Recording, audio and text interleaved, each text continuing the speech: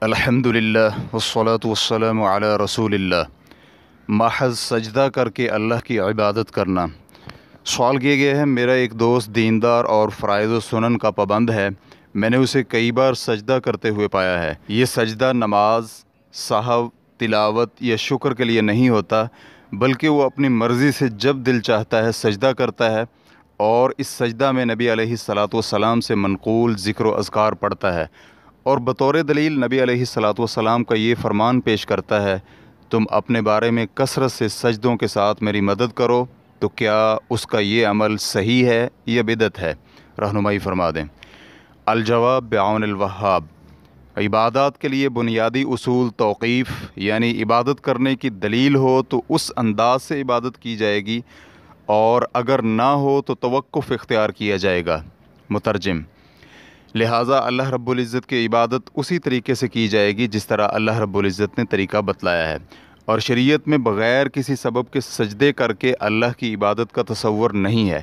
چنانچہ سجدہ تلاوت اس وقت کیا جاتا ہے جب سجدہ تلاوت والی آیت پڑھی جائے اور سجدہ شکر اس وقت کیا جاتا ہے جب کوئی شکرانے کے لائق نعمت ملے۔ اور نبی علیہ الصلاۃ والسلام کا فرمان ہے جس شخص نے ہمارے اس دین میں کوئی ایسا کام ایجاد کیا جو اس میں سے نہیں ہے، تو وہ مردود ہے۔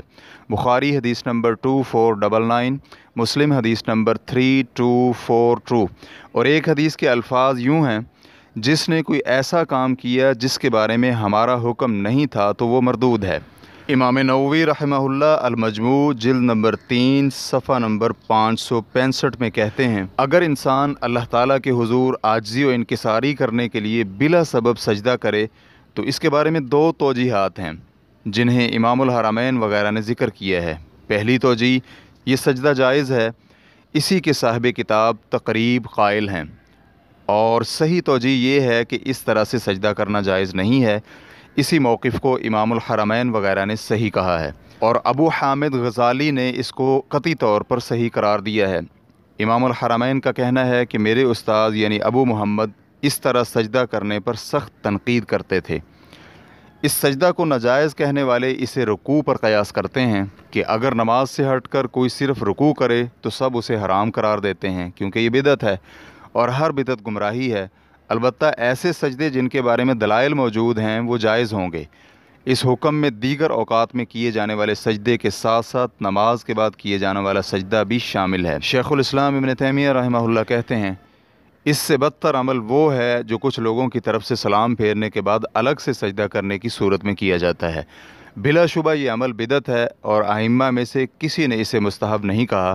اس کی وجہ یہ ہے کہ عبادات کی بنیاد شریعت اور اتباع پر ہوتی ہے۔ خواہش نفس اور بدعات پر عبادات کی بنیاد نہیں ہوتی، کیونکہ اسلام کی بنیاد دو چیزوں پر ہے۔ صرف ایک اللہ کی عبادت کریں اور اسی انداز سے عبادت کریں جس انداز سے رسول اللہ صلی اللہ علیہ و وسلم کی زبان اقدس سے بیان ہوئی ہے۔ لہٰذا ہم اللہ رب العزت کی عبادت خواہش نفس اور بدعات کے ذریعے سے نہیں کر سکتے۔ ریفرنس کے لیے دیکھیے الفتاو القبرہ جلد نمبر دو، صفحہ نمبر دو سو بیالیس۔ اور ابن الحاج المدخل جلد نمبر چار، صفحہ نمبر دو سو چھیاسٹھ میں صلاۃ الرغائب کے بعد دو الگ سے سجدے کرنے کے بارے میں کہتے ہیں۔ نماز کا اصل مقصود قرب الہی ہے اور قرب الہی اطاعت گزاری سے ملتا ہے، بدعات اور مکرو اشیاء سے نہیں ملتا۔ اور علماء کرام نماز کے علاوہ صرف دو طرح کے سجدے کرنا جائز سمجھتے ہیں، جن میں تیسرا سجدہ شامل کرنے کی گنجائش نہیں ہے۔ ان میں سے ایک سجدہ تلاوت ہے اور دوسرا سجدہ شکر ہے۔ ان کے مطابق جو اسے جائز سمجھتے ہیں۔ اور صلاۃ الرغائب کے بعد ہونے والے سجدے ان دونوں قسم کے سجدوں میں شامل نہیں ہے کیونکہ صلف صالحین سے ایسی کوئی بات منقول نہیں ہے۔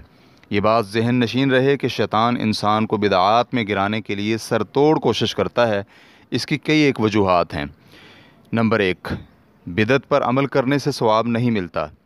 نمبر دو بدعات میں پڑھنے سے انسان سنتوں پر عمل کرنے سے دور ہو جاتا ہے اور اس میں یہ بھی ہے کہ بدت پر عمل کرنے والا شریعت میں نقص تلاش کرتا ہے۔ گویا کہ بدعتی شخص کے مطابق اس کو ایسے کام کی توفیق ملتی ہے جس سے نبی علیہ السلاۃ والسلام اور آپ کے صحابہ اکرام ناؤز باللہ محروم تھے۔ جواب کا خلاصہ یہ ہے کہ سوال میں مذکور سجدہ شری نہیں ہے۔ اس کے ناجائز ہونے کی دلیل یہ ہے، نمبر ایک یہ بدعت ہے اور نبی علیہ السلاۃ والسلام کا فرمان ہے کہ ہر بدعت گمراہی ہے۔ نمبر دو، جس طرح صرف رکوع کر کے اللہ کی عبادت نہیں کی جا سکتی، بالکل اسی طرح صرف سجدہ کر کے بھی اللہ کی عبادت نہیں کی جا سکتی۔ واللہ تعالی اعلم۔ اسلام کیو اے ریکارڈنگز، مؤسسۃ الشیخ محمد صالح المنجد المملکت العربیت السعودیہ، فتویٰ number nine eight one five six. والسلام علیکم ورحمۃ اللہ وبرکاتہ۔